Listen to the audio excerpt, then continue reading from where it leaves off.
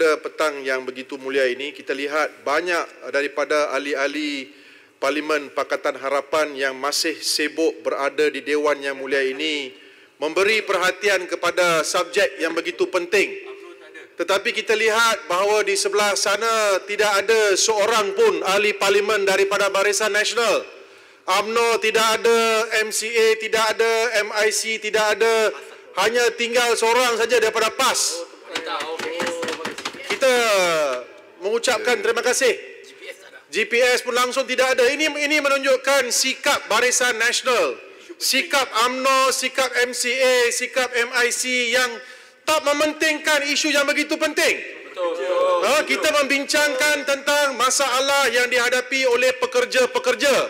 Masalah di mana kita perlu puji kepada menteri kita yang telah mengangkat perkara ini menggubal undang-undang yang begitu penting membawa kepada dewan yang mulia ini untuk diperbahaskan tetapi langsung tidak ada seorang pun ahli parlimen daripada Barisan Nasional AMNO walaupun berjalan berkeliaran di sana sini tetapi tidak duduk di tempat dan memberi pemerhatian kepada perkara yang begitu penting. Betul.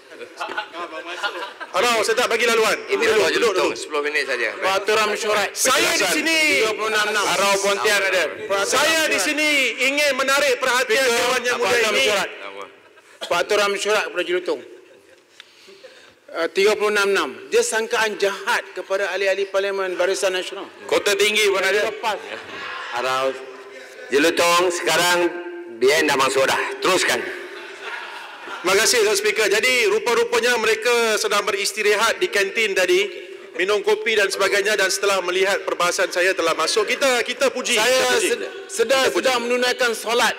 Yang Okey. Muhammad. Baik, baik, baik. Jadi kasih. 36.6 sangkaan jahat perkara Yang buat tuduhan ada So, saya Jadi dia rekodkan. Okey. Baik, Saya terima di sini You ingat ini urusan you seorang. Saya di sini Silakan. ingin menyatakan bahawa Apa, kepujian yang tertinggi harus diberikan kepada menteri. Kita lihat kita lihat berita baru-baru ini tergempar.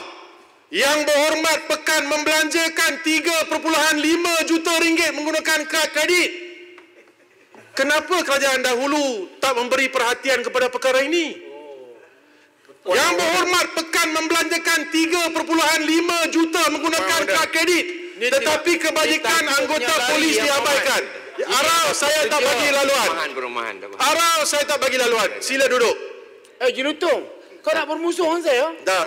Saya bagi. Biar saya habiskan dulu. Sialah, bagi bagi sila Ha? Jelutong habiskan. Perkara ini perkara penting. Yang berhormat.